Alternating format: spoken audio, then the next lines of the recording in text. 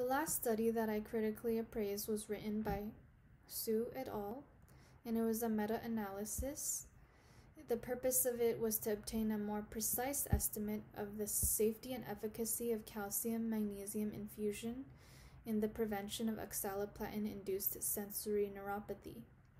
The method they used was using 16 studies, including 1,765 individuals that were involved in this meta analysis.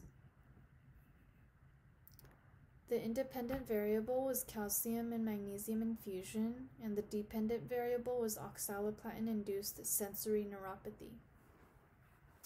The measurement they used were the National Cancer Institute Common Toxic Toxicity Criteria and odds ratio and 95% confidence intervals were calculated.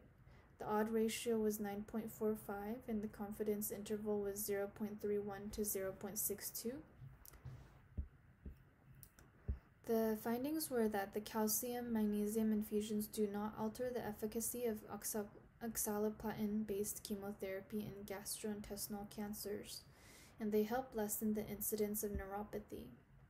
I used the JBI checklist as my critical appraisal tool and the strengths were that the meta analysis helped derive a more precise estimation of the safety and efficacy of calcium and magnesium infusions on the prevention of oxaliplatin based sensory neuropathy.